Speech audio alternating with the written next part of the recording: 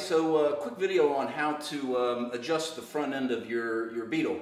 Uh, what I'm working on right now is the toe-in for the front suspension. And the toe-in uh, has to do with the direction um, of how the uh, tires, the wheels, are pointed when they're straight ahead. Are they toe-in, where they're turning in toward one another, or are they toeing out, meaning they're pushing away from one another? And you want to have these uh, spot on for tire wear and for handling, right?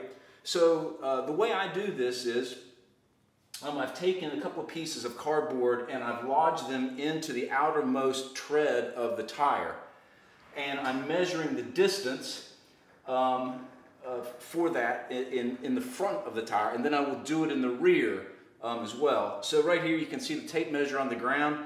I'm measuring the front um, tire space to be about 52 and a half inches. So now I'm going to do the same to the back of the tires and see what that difference is. Okay, so now I'm here to the to the back, the back of the uh, tire. Uh, same process, I have a piece of cardboard lodged into the outermost tread uh, here and uh, to the other side with a tape measure and I'm measuring 54 and a half inches here. So I'm about two inches different uh, with the um, rear of the tires being two inches wider than it is the front. So I have a toe-in problem. So uh, let's take a look at how we adjust that. All right, I, I, don't have a gas tank in. I have a small little reservoir here while I'm finishing up the work. So as you can see, here are the tie rods uh, heading to the passenger side and the driver's side. So you would loosen these nuts here and you twist these to adjust uh, that toe in or toe out. And in my case, it's a toe in. But the issue is which one do you adjust? Aha! Ha ha ha ha! Hold on, let's figure this one out too. All right, so I've pulled it out into uh, the street, and what I've done is I've tied a string to the ball joint, um, and then you know, attach those to the end of some support. And what I'm looking at is um, to the driver's side, it might be a little bit difficult in the video to see, but that is moving much more in to a toe-in position than the passenger side. So what I'm going to do is I'm going to pull this back into the garage and adjust the toe-in from the driver's side.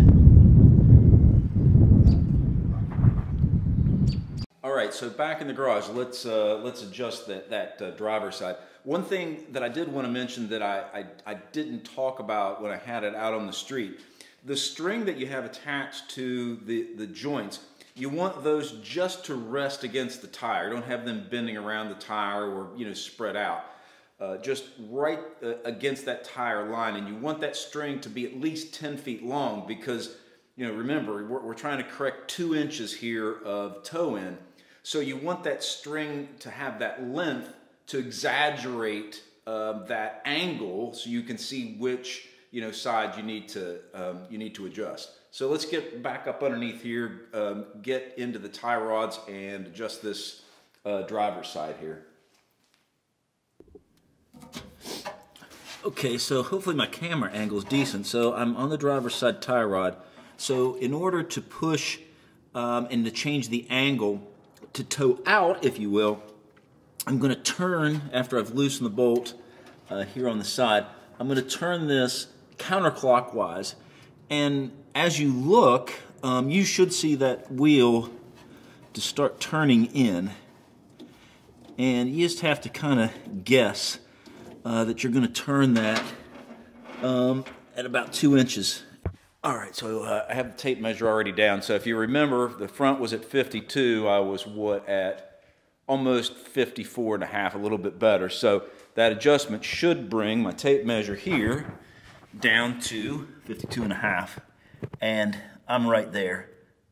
So exactly where I needed to be. Kind of a good guess there at the inches when I adjusted the tie rod. So the only thing to do now is just uh, tighten up the, uh, the lock nuts on those tie rods so they're, they're locked into place and we're good to go. I hope this short video has helped. Take care.